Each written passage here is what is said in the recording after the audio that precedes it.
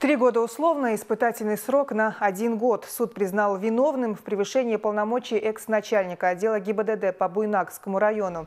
Кроме того, Казим Казиев лишен права занимать должность в правоохранительных органах в течение одного года. Напомню, в прошлом году полицейский преградил проезжую часть в Буйнакске своим автомобилем водителю «Газели». Изъял у него водительские права и документы на автомобиль, извлек ключи зажигания, кинул их водителю в лицо, после чего нанес ему множественные удары в лицо и в шею.